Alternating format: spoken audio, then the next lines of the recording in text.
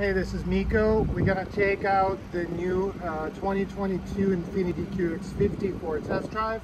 First wanted to show you the car, just how comfortable it is as far as the seats go. So right now the front seat, I'll just show you, I'll set it comfortably for myself. So I'll probably drive. Yep, that feels right. In this position, you still have a lot of room in the back. Still pretty comfortable. Uh, you can adjust the recliner here. So the same uh, control that folds the seat will allow, will allow you to control how, um, how it reclines back. Um, other than that, it's pretty comfortable in the back. Nothing to report. AC is available in the back. Uh, no controls for this configuration, but it's got AC out.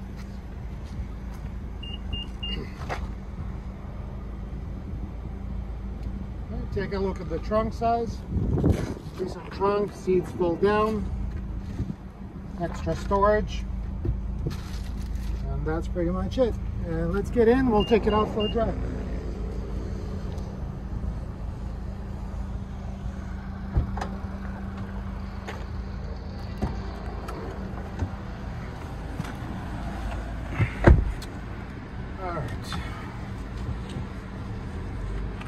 So before we go, I'm just gonna show uh, these cars uh, pretty much standard come with the uh, surround view for parking. So that's what you're seeing right now.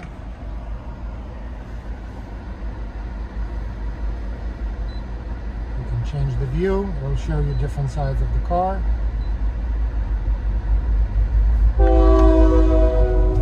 Stays on for a little bit when you're going um, and drive. So just a nice and easy system that allows you to park. Uh, pretty big benefit, um, especially knowing that right now with the shortages, a lot of manufacturers wouldn't even offer this.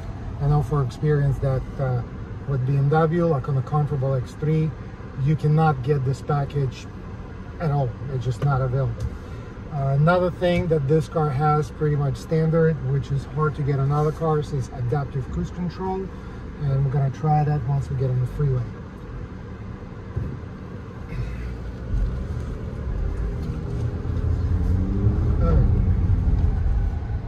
We're gonna test the acceleration and feel of the car.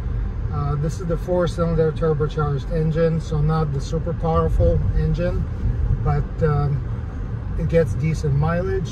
I think it's still, it's got enough power and it's really responsible, responsive. And we're gonna try different drive modes. Right now it's in comfort. What else do we have here? So you can see obviously navigation. Uh, this is the standard Infiniti controls, two displays, navigation display here, and the controls are here. Everything is uh, um, touch screen. Also you have this controller and uh, voice command.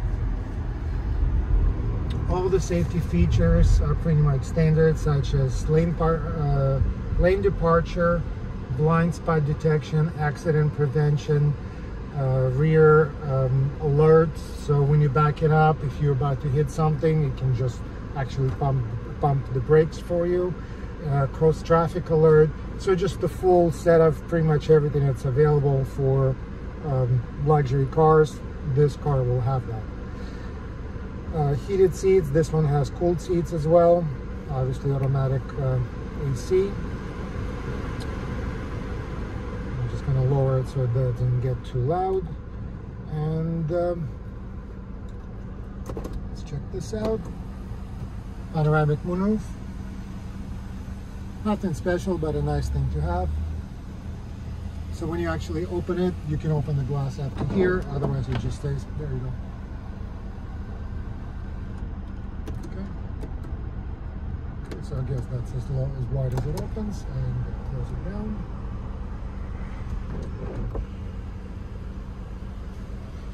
Alright, so the light should change in a second and we'll be off. And I'm going to prepare, set the cruise control. So right now all the safety uh, systems are ready and we just need to activate the cruise control once we get a little bit of speed. Right, so first we'll test, test the acceleration. Nice sound. This is 60 miles an hour. Let's take the turn. Handles the turn nicely.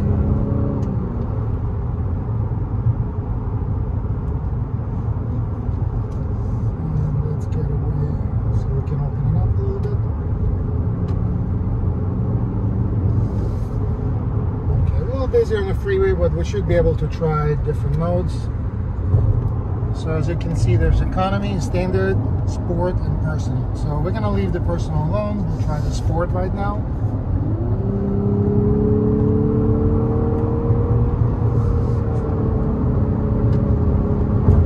Very easy to drive, easy to accelerate. It gives you this excitement. It's got this nice uh, engine note, uh, but it's really comfortable, easy car to drive. Steering is okay, not you know, not perfect. I'd say maybe a little loose, but um, not too bad. And let's go back to comfort mode, standard. And let's try the cruise control. All right, so that's it. Right now the cruise control is on. Let's put it up to 80 miles an hour. And let's reduce the distance. So this is as close as we can set it. So you can actually see what's going on. As you saw, it's really easy, easy to activate. It's working right now. It's just following the car in front of us at the safe speed, at the safe distance. I set it at 80 miles an hour, but since everybody's going slower, this is what we have. So just to mess with the system, we're going to change the lane behind a slower car. And very smoothly, my car, this car, slows down and just keeps going.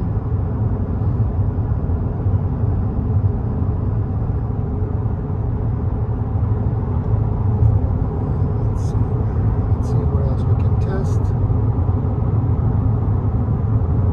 Overall nice driving experience. Very, um, very quiet feel. A little bit of the wind noise. You can hear the engine, but it's not not loud at all.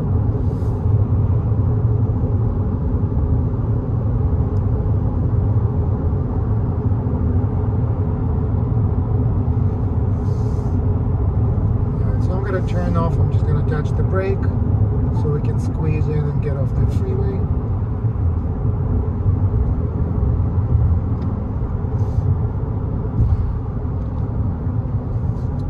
And I want to turn around and uh, accelerate again in the sport mode.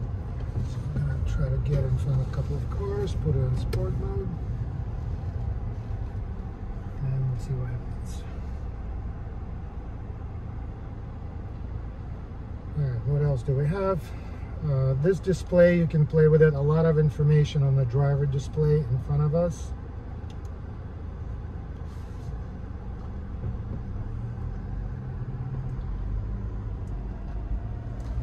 tire pressure, fuel economy, compass, audio, warnings, engine oil, and the safety system. So you can pretty much scroll through everything that's going on with the car right, right on the driver information display. Okay, so we're in sport mode. The car's a little bit louder. I'm gonna squeeze in and get to the off ramp, on ramp.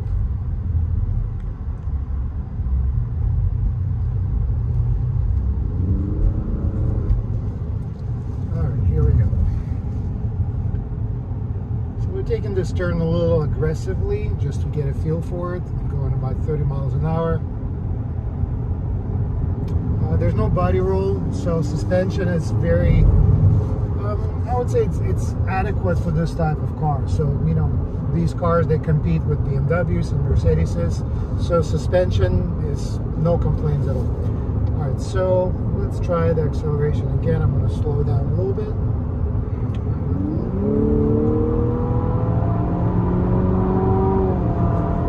Holds the gear up to 6,000 RPM. Again, transmission is tuned nicely. There's a really good difference in the sport mode.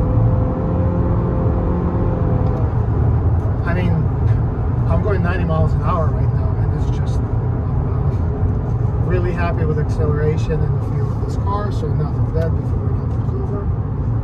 And uh, let's slow down and try the cruise control again.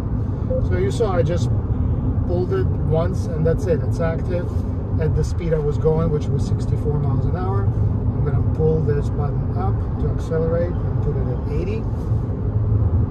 And um, the system is set in 80, but we're going at the speed of traffic, which is about 60. Uh, the um, the steering is active as well. You do have to keep at least one hand on the steering wheel, and then it just steers for you. So basically, you know, this is what you get. You get a car, luxury car that you can actually get. Um, this is a little time sensitive.